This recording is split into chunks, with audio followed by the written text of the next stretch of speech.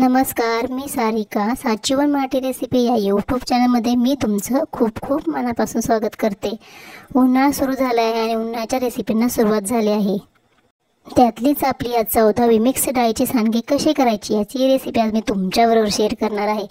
दरवर्षी आपण तेच सामान घेतो किंवा तेच प्रमाण घेऊन सांडगी बनवतो. पण यावर्षी एक असा एक पदार्थ टाकून सांडगी बनवणार आहे. त्यामुळे पा सांडगी तर खूप खमंग आणि चविष्ट तर होतीलच. नक्की बघा. त्या अगोदर आपण तुम्ही जर या चॅनलवरती नवीन असाल तर प्लीज प्लीज चॅनल सबस्क्राईब नक्की करा. हे सांडगे तयार करत असताना याचं प्रमाण किती घ्यावं आणि कसं घ्यावं? पाण्याचं प्रमाण किती घ्यावं? हे सगळं अगदी डिटेलमध्ये सांगितलेलं आहे. आणि याच्यामध्ये एक पदार्थ टाकल्यामुळे सांडग्यांची चव तर अप्रतिम लागते. अगदी तुम्ही मटणाची भाजी खायला हे विसराल. इतके हे सांडगे इतके खमंग आणि चविष्ट तयार होतात. कसे करायची? ही याची रेसिपी अगदी डिटेलमध्ये शेव सांगितलेलं आहे. नक्की हा शेवटपर्यंत व्हिडिओ बघा आणि हा व्हिडिओ जरा जरी आवडला तर व्हिडिओला एक लाईक करायला नक्की विसरू नका. या अगोदर या चॅनलवरती बरेचसे अगदी झटपट होणार सामाच्या रेसिपी कशा करायच्या?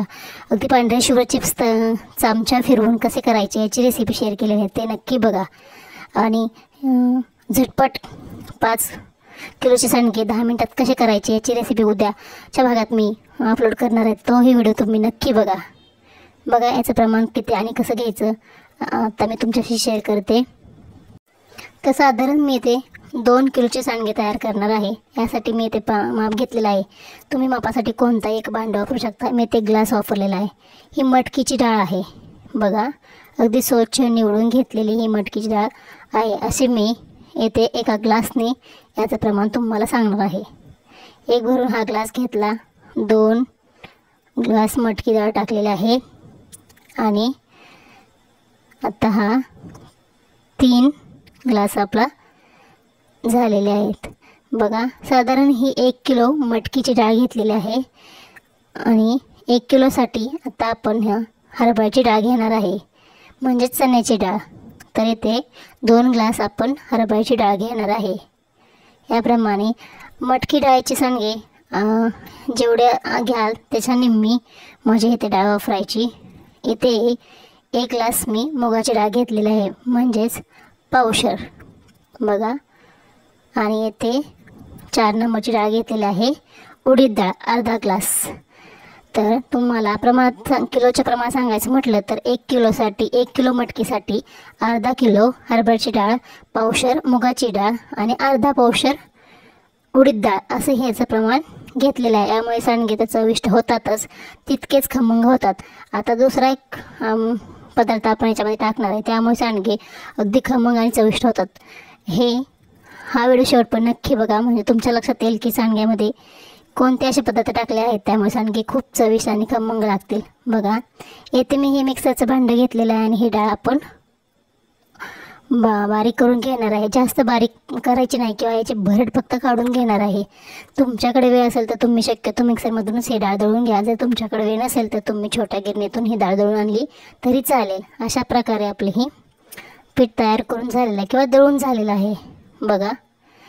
याच्यामध्ये तर साधारण हे एक किलोचं पीठ आहे. मी नेक्स्ट व्हिडिओमध्ये अगदी झटपट दहाच मिनटामध्ये सांडगे कसे तयार करायचे नवीन पद्धतीने याचा व्हिडिओ उद्याच्या भागामध्ये अपलोड करणार आहे. तोही तुम्ही नक्की बघा. आजच्या रेसिपीपेक्षा उद्याची रेसिपी तुम्हाला नक्की नक्की आवडेल. करण्याची पद्धत नक्की आवडेल.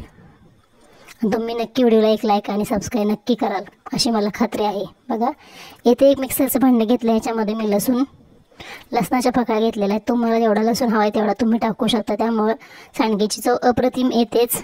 येथे कोथिंबीर घेतलेली आहे. याच्यामध्ये कोथिंबीर वापरल्यामुळे सांडग्यांना खूप छान अशी चवही येते. आता आपण हे मिक्सरला ह्याचं छान असं वाटण तयार करून घेणार आहे. बघा याप्रमाणे याचं आलं आणि सॉरी लसूण आणि कोथिंबीरचं वाटण झालं आहे आता. सिक्रेट एक चमचा किंवा सिक्रेट कोणता पदार्थ मी टाकणार होते ते बघा. ही कस्तुरी मेथी आहे. बाजारामध्ये कुठेही सुपर मार्केटमध्ये मिळते किंवा किराणा किराणा मालाच्या दुकानात हे कस्तुरी मेथी मिळून मिळते. यामुळे सांडग्यांना अप्रतिम अशी चव येते. तुम्ही यावर्षी ह्या पद्धतीने सांडगे नक्की ट्राय करून बघा. नक्की आवडतील. चव तर नक्कीच याची खूप अशी भन्नाट लागते. मटणाची भाजीही खायला तुम्ही नक्कीच विसार विसराल. बघा याची भरट करून तयार झालेली आहे. बारीक झालेलं आहे. आता आपण याच्यामध्ये हे मिक्स करणार आहे. आणि कस्तुरी मेथीचं प्रमाण ही तुम्ही दोन चमचे इतकं बारीक करून टाकू शकता. यामुळे चव तर नक्की छान येते. बघा यावर्षी या पद्धती नक्की ट्राय करून बघा. त्याच्यामध्ये हे टाकून झालेलं आहे. अगदी जास्त मी बारीकही केलं नाही. बघा याप्रमाणे त्याच्यामध्ये आपण चवीनुसार मीठ टाकणार आहे. तर तुम्हाला सांगेत तिखट हवे असतील तर थोडंच तिखटाचं प्रमाण वाढवलं तरी चालेल. आता ही आंबरी मिरची पावडर आहे. आपल्या सांडग्यांना छान असा कलर येण्यासाठी इथे मी दोन चमचे हा वापरलेला आहे. बघा याप्रमाणे याच्या चवीनुसार मीठ वापरणार आहे आपण. आपण भाजी करताना परत मीठ वापरू त्यामुळे याच्या मिठाचं प्रमाण थोडंसं कमीच ठेवायचं. बघा याप्रमाणे मिठाचं प्रमाण वापरलेलं आहे. आणि थोडेसे सांगे तिखट होण्यासाठी घरगुती मिरची पावडर आपण तयार करून घेतो किंवा बिर तिखट मिरची पावडर. मी ते दोन चमचे वापरणार आहे. याप्रमाणे. आता हे सगळं सामान आपण छान असं मिक्स करून घेणार आहे पिठामध्ये. छान एक सगळं मिक्स करून झाल्यानंतर आता आपण याच्यामध्ये थोडं थोडं पाणी घालून याचं छान असं हे घट्ट असा गोळा तयार करून घेणार आहे. छान असं मी चमच्याने ते मिक्स केलेलं आहे. याप्रमाणे बघा एकदम पाणी न होता अगदी थोडं थोडं करून याचा आपण घट्ट असा गोळा तयार करून घेणार आहे. सुरुवातीला जास्त पातळ पीठ करून घ्यायचं नाही. नाहीतर काय होतं मग पटकन सांडगे सुटले जात नाहीत किंवा तर सांडगे घालायला खूप वेळ लागतो. यासाठी पीठ हे दाटसरच किंवा घट्टच गोळा बनवून घ्यायचा. बघा हे पीठ चिकट असतं त्यामुळे मळायला थोडासा वेळ लागतो. पण अगदी थोडं थोडं पाणी करून हा गोळा मळून घ्यायचा.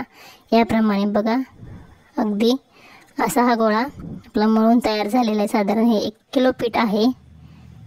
छान असा आपला दाटसर किंवा घट्ट असा गोळा बनवून तयार झाला आता याचे सांडगे तुम्ही ताटामध्येही सांडगे घालू शकता किंवा इकडं एखाद्या सुती कापडावरती घालू शकता. इथे मी स्वच्छ एक सुती कापड हातरलेलं आहे. आता याच्यावरती आपण हे सांडगे सोडून घेऊया. आता गोळा हा घटसर दाटसर किंवा घट्ट असल्यामुळे साईडला थोडंसं एका भांड्यामध्ये पाणी घ्यायचं पाण्यामध्ये हात बुडवून ओलसर करून घ्यायचा आणि छोटासा गोळा काढून घ्यायचा. बघा याप्रमाणे. आणि आपल्या हाताला पाणी ओलसर हात करून हे सांडगे घालून घ्यायचे. अगदी हे पीठ छान असा गोळा आपल्या हातावरतीच मळून घ्यायचा. आणि थोडंसं हाताला पाणी लावायचं आणि मग असा हा गोळा थोडासा सैलसर करून घ्यायचा. याप्रमाणे. तर तापायचे सांडगे सोडून मी तुम्हाला दाखवते बघा. याप्रमाणे. तर अगदी सांडगे तुम्हाला कोणत्या आकारात हवे आहेत मोठे छोटे याच्यामध्ये तुम्ही सोड सोडू शकता. पण सांडगे छोटे छोटे सोडले तर पटकन शिजायला वेळ लागत नाही आहे आणि सांडगे जर मोठे झाले तर शिजायला खूप वेळ लागतो.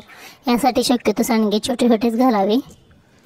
उद्याच्या भागामध्ये सांडगे अगदी नाजूक आणि कोणी विचारेल की हे सांडगे कसे केले? अगदी दहा मिनटामध्ये पाच किलो सांडगे कसे तयार करायचे? याची रेसिपी आज मी तुम सॉरी उद्याच्या भागामध्ये नक्की शेअर करणार आहे. तो उद्याचा भाग तुम्ही नक्की बघा.